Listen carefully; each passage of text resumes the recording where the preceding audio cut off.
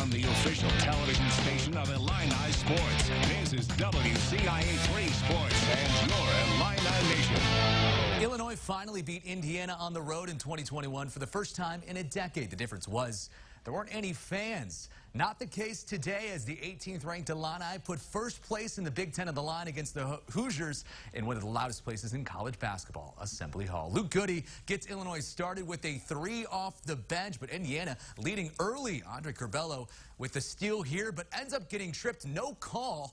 Goode, though, whistled for the intentional foul on the play. Brad Underwood almost gets a tech arguing with the refs, and so does Curbelo. Sets the tone the rest of the way. Tamar Bates then pull up for the Hoosiers, gets it to go. 7-0 Hoosiers run as they take back the lead from Illinois.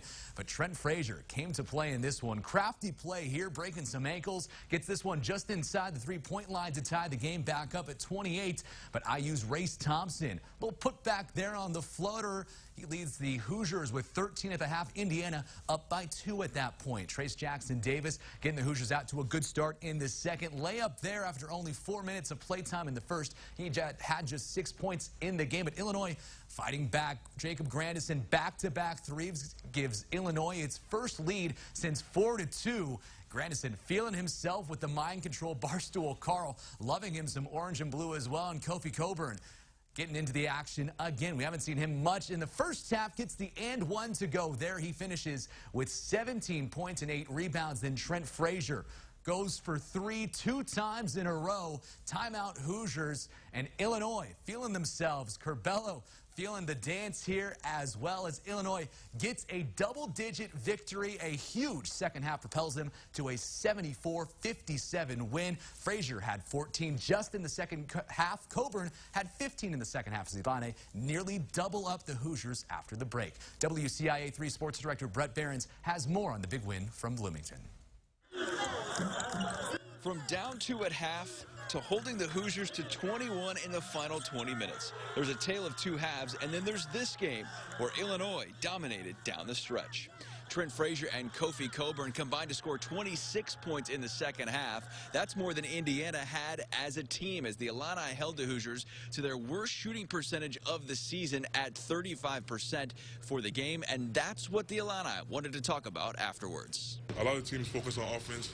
Um, our main focus is defense, you know, and we take such pride in that. Whenever we have a good uh, defensive game, we celebrate those, you know. To hold a team like that to 21 points, a really good offensive team like that, um, it's tremendous. Defensively, that's what we try to bring every night, you know. Uh, we try to rebound our behinds off, um, bring a lot of effort, and just, you know, defend. And, you know, that's what we did tonight in the second half. Illinois head coach Brad Underwood said he challenged his team to stop fouling at halftime. The change worked, and the offense followed as the Illini closed the game on a 32-11 run in the final 13 minutes. I was really pleased at half to be only down two. I thought we withstood their energy, their emotion, but I thought the second half, um, our defense was terrific. held the team to 21 points. I thought our offense allowed our defense to be great simply because we kept them out of transition. The 17-point win here at Indiana, the largest margin of victory for Illinois at Indiana since 1956, and more history for the Orange and Blue, who have now won 13 out of their last 15 Big Ten road games. Reporting in Bloomington, Indiana for your Illini Nation, Brett Behrens, WCIA 3 Sports. Thanks, Brett. For more on the win, including Brad Underwood's full post-game press conference and the WCIA 3-in-1 podcast, you can go to WCIA.com.